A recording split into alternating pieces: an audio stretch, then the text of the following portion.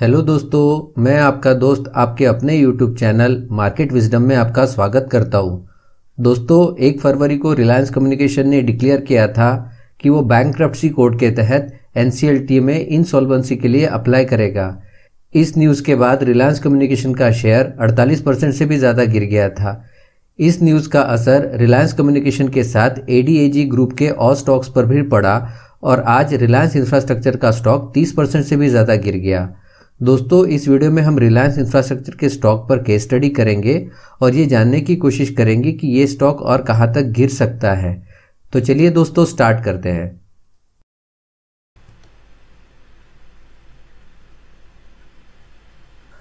तो दोस्तों, अभी हमने रिलायंस इंफ्रास्ट्रक्चर का डेली चार्ट ओपन किया है। यहाँ से आप देख सकते हैं कि ये रिलायंस इंफ्रास्ट्रक्चर का डेली चार्ट है। दोस्तों, जैसे कि हम जानते हैं कि एक फरवरी को रिलायंस कम्युनिकेशन की इंसॉल्वेंसी की न्यूज़ आई। तो यहाँ से आप देख सकते हैं कि ये रिलायंस इंफ्रास्ट्रक्चर का एक फेब्रुआरी की स्टॉक प्राइस की कैंडल है, जो कि हमने एक सर्कल में मार्क की है। दोस्तों, एक फरवरी को इस स्टॉक में बहुत ज़्यादा मूवमेंट हमें देखने को नहीं मिली। उसके बाद आप देख सकते हैं कि इस स्टॉक में काफ़ी तेज़ गिरावट हुई और सिर्फ़ पाँच दिनों में ही ये स्टॉक 280 से गिर के आज इस स्टॉक की क्लोजिंग एक रुपए पे हुई है। दोस्तों, सिर्फ़ पाँच दिनों में ही ये स्टॉक 62 परसेंट से भी ज़्यादा गिर गया है। तो दोस्तों, ये स्टॉक और आगे कहाँ तक गिरेगा, इसका बॉटम क्या होगा, इसको स्टडी करने के लिए अब हम इस चार्ट को हायर टाइम फ्रेम पे एनालाइज करते हैं। तो दोस्तों, अब हमने रिलायंस इंफ्रास्ट्रक्चर का मंथली चार्ट ओपन कर लिया है। अगर हम इसकी टाइम फ्रेम की बात करेंगे तो यहाँ से आप देख सकते हैं कि इसका टाइम फ्रेम जो है, ये 2007 से लेके आज के डेट तक का है। मतलब ये जो चार्ट है, ये टोटल 12 साल का चार्ट है। तो दोस्तों, जैसे कि आप देख सकते हैं कि जनवरी 2008 में रिलायंस इंफ्रास्ट्रक्चर के स्टॉक ने अपना लाइफ टाइम हाई को टच किया था और इस स्टॉक का लाइफ टाइम हाई जो था, ये छब्बीस रुपए था। 2008 के मार्केट क्रैश के बाद ये स्टॉक काफ़ी तेज़ी से गिरा और उसके बाद धीरे धीरे गिरता रहा। दोस्तों एडीएजी ग्रुप में हाई डेट की समस्या हमेशा से रही है और उसका असर इस स्टॉक पे भी हमेशा रहा है।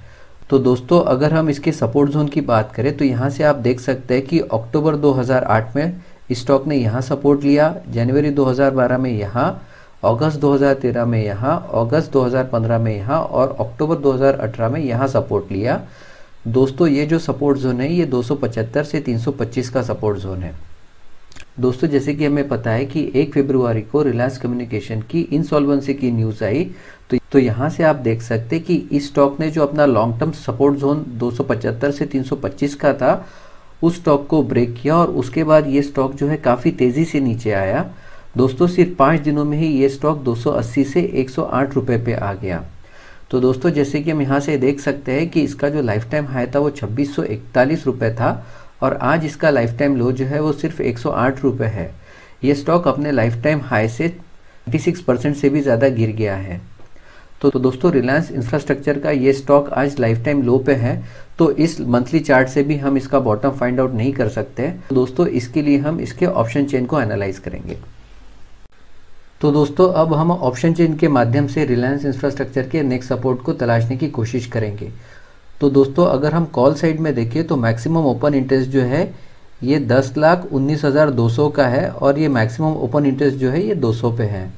उसी तरीके से 240 के स्ट्राइक प्राइस पे भी जो मैक्सिमम ओपन इंटरेस्ट है दस लाख तिरानवे हज़ार का ओपन इंटरेस्ट है। तो दोस्तों अगर हम ऊपरी साइड में देखें तो दो, 200 और 240 की ये लेवल जो है इसके लिए अब ये हाई रेजिस्टेंस जोन बन गया है। तो दोस्तों, अगर हम पुट साइड में देखें तो 110 की ये जो स्ट्राइक प्राइस है, इस पे ओपन इंटरेस्ट जो है तकरीबन चार लाख का है। लेकिन चेंज इन ओपन इंटरेस्ट जो है, ये निगेटिव हो गया है। तो दोस्तों, यहाँ से हमें ये सिग्नल मिलता है कि रिलायंस इंफ्रास्ट्रक्चर का स्टॉक जो है, वो 110 भी शायद होल्ड ना कर पाए।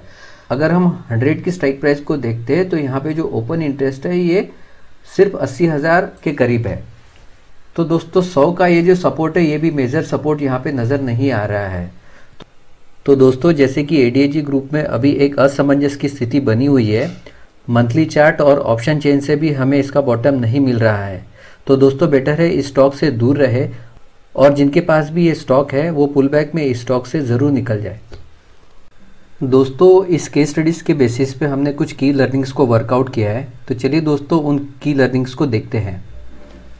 बेसिस पे हमने चार की लर्निंग्स को वर्कआउट किया है। हमारी पहली की लर्निंग ये है कि हाई डेट रिटर्न कंपनी से हमेशा दूर रहे। हमारी दूसरी की लर्निंग ये है कि हम हमारे पोर्टफोलियो को रेगुलर बेसिस पे रिव्यू करें और ये रिव्यू का इंटरवल जो हो कम से कम तीन महीने का हो। हमारी तीसरी की लर्निंग ये है कि हमारे पोर्टफोलियो में जो भी स्टॉक्स है, उन स्टॉक से रिलेटेड जो भी न्यूज़ मार्केट में है, उनके बारे में हमेशा अलर्ट रहे। और हमारी आखिरी की लर्निंग ये है कि हम हमेशा स्टॉप लॉस को लगाए रखें। दोस्तों, ये वीडियो आपको कैसा लगा, ये आप हमें कमेंट बॉक्स में कमेंट करके ज़रूर बताएँ और इस वीडियो को लाइक, शेयर और सब्सक्राइब करना ना भूलें।